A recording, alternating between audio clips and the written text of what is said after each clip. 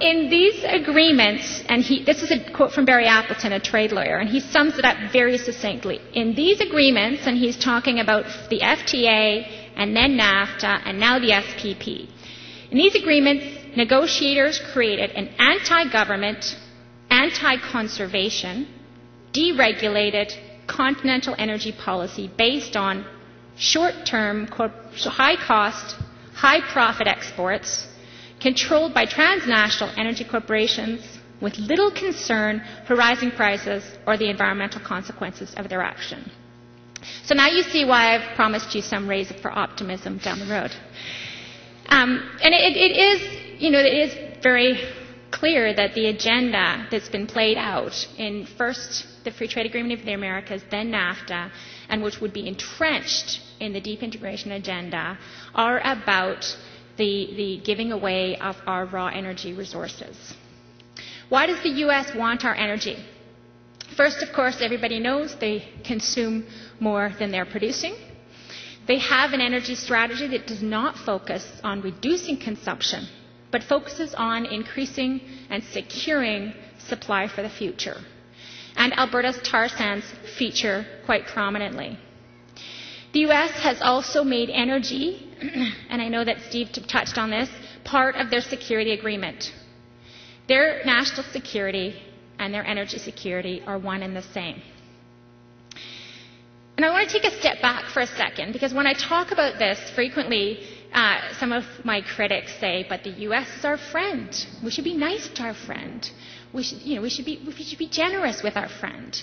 Um, and especially because we didn't go to war with them. So we owe them something. We've got to be even nicer to them. And this profoundly misses the incredible power imbalance between the Canada and the United States. And it's like the bully in the playground. You might be friends with the bully, but you're always a little bit scared. And are you giving the bully something because you're scared or because you want to? So um, Canada has very much got this mentality of, of um, a need to have you know, the US be our friend. And in this context, we have given them our energy resources. As I mentioned, Canada is already part of a continental market with, with NAFTA and the Free Trade Agreement. Um, this integration has had a serious impact on reducing our sovereignty over our energy resources and our security of future energy supplies. It's also entrenched a colonial relationship in terms of us being a resource hinterland. Initially with the United Kingdom, and we've now switched that to the United States, and we are a resource base for them. Um, now, I want to refer back to John's sort of corporate coup d'etat, um, and, uh, and I think it's a bit more um, insidious than that. It's kind of colonization by stealth, and the, and the Australians have a great term for it. They call it white anting because they have these white ants that sort of crawl up into the middle of something and hollow it out from the inside. Um, and so I think that in a lot of ways that's what's been done with our energy sovereignty and security. With NAFTA, first, national treatment rules were eliminated whereby Canadian companies could no longer be treated preferentially over foreign corporations. So that opened up our energy sector to foreign corporations. Second, preferential pricing was prohibited, whereby Canada could no longer set an internal price for energy that was different from our export price. Third, export regulations were eliminated, such as export taxes, impact assessment requirements for export licenses, and our 25 year vital supply safeguard, which previously meant oil or gas could not be exported if we did not have 25 years for Canadian security. And finally, the proportional sharing clause was introduced, whereby Canada has to maintain a guaranteed level exports to the United States. So, what's this meant? First, natural gas prices skyrocketed because we used to, Canadian gas, we used to set the price in Canada. And now that price is set in the United States.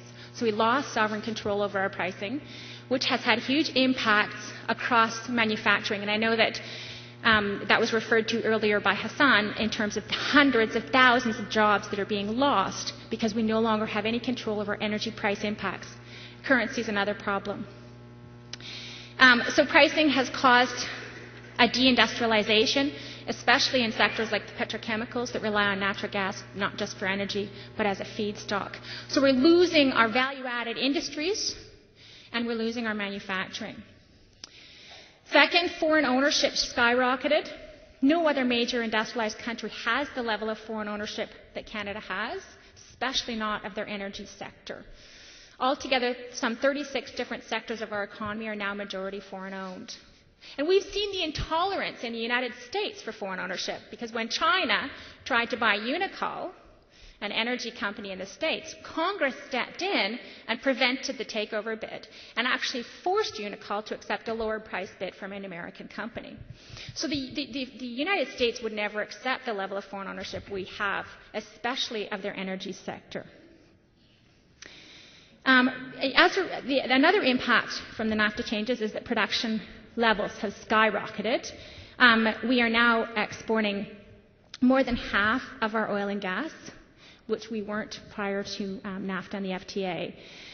Production has increased dramatically, almost four times for natural gas and almost six times for oil. Now, this is going to go even higher because we're projecting a growth from 1 million barrels a day to 5 million barrels a day out of the tar sands, and the majority of that will be for export to the, to the United States. Um, so these dramatic increases in export levels have meant that our conventional oil and gas reserves are falling. Gas peaked in 2001 and is now on the decline. Oil peaked before that. Conventional oil peaked before that. So now we know that we have about 8.9 years left in reserve of natural gas, and that's quickly falling because we're producing more per year than we're finding. We're still exporting 56% to the United States. Because conventional oil and gas are declining, we are forced now to shift to non conventional sources like the tar sands, Mackenzie Valley Pipeline, uh, coal bed methane, and offshore oil and gas. All of these have much, much higher environmental risk associated with them than conventional oil and gas. And not enough debate has been had publicly around the implications of shifting to these higher environmental cost resources. Um, the fastest growing area of climate change emissions is in the energy extraction sector, and as tar sands increases capacity, they're one of the worst offenders. They're in the top polluters in the country. Um, so those issues are issues that we need to debate as we see the level of exports ramp up further under deep integration with the United States. Um, another area that's been impacted by the deregulation is royalties and taxes. They're at an all-time low. Um, we are now the lowest in the world uh, at 23 cents a barrel for oil, which, uh, you know, given that they're not making quite enough money these days, maybe it's reasonable. they were leading uh, the, the, nation in record profit levels this year and last year, the energy sector. So there's certainly room for change in there. This is where we get to the optimism. There's room for change in terms of, of the level of investment that we have in Canada um, Canada is very strategically located globally in energy resources. First, the majority of energy in the world, almost 80%, is owned publicly and extracted publicly. So private corporations cannot even get at more than 20% of the world's oil. So Canada is in that 20%, which is a very strategic place to be. Second, the rest of the oil around the world is becoming higher and higher cost to find there's less and less of it. And it's higher and higher risk because the, exploration costs are so much higher. Alberta's tar sands, we know where it is. There's no risk in exploration and development. So, second major strategic factor. And third, there's a large investment push of dollars coming from the United States real estate crash looking for a place to park. Returns in the tar sands and in the energy sector right now are 15 to 22 percent. So there is room for Canada to hold those negotiating cards. We are actually very strategic and we have a lot of power in the global energy economy. We need to exercise that. We need to have an energy security strategy that balances federal and provincial interests, consuming and non-consuming province interests, prioritizes Canadian value-added jobs and Canadian interests first.